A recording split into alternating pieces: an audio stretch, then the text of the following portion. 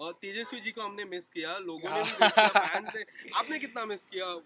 The trio is very great I हाँ I think या सी स्टेबिन और uh, मैं जो है वो काफ़ी पुराने दोस्त हैं।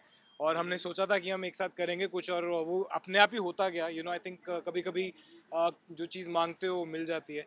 तो touch wood that happen and you know वहाँ पर uh, ऐसा था कि नेटवर्क नहीं था। यस तो जब आप मेरा व्लॉग देखोगे आपको रियलाइज़ होगा कि हमने कितना मिस किया। भी चालू है तेजू को कितना मिस किया correct so you know it would been nice कि अगर हम इकट्ठे जाते कश्मीर में शूट करते but you know it was इतना आसान नहीं है।